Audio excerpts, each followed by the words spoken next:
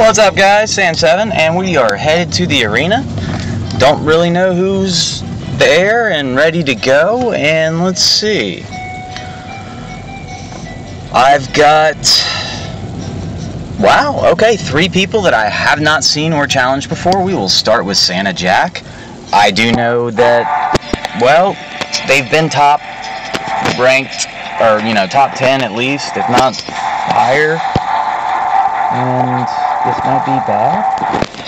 But we'll just throw everybody in and see what happens. DPS going up against uh, six star heroes, a four or five revitalized spirit mage, and we're gonna see who hits harder. I've got a chance. Maybe not.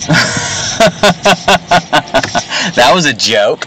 Um, honestly, I generally do have a chance uh, when I'm looking at that, and I'm not seeing a succubus that has revitalized four or five, five five, or an enfeeble of four or five, five five. That's just flat out. This dude hits hard, really, really hard, and with that revitalized spirit mage, this is gonna be difficult. I believe dropping a paladin low might not be enough. Dropping a paladin and something else low might not be enough. Um, I'm gonna have to watch it again to see what his spirit mage is hitting for. Because if he's hitting for you know eight to ten k, uh, yeah, that's bad. but let's see. Here we go. Uh, it's probably not going to be a rematch. I'm probably going to find um, a new opponent that I haven't seen yet because I don't like my chances.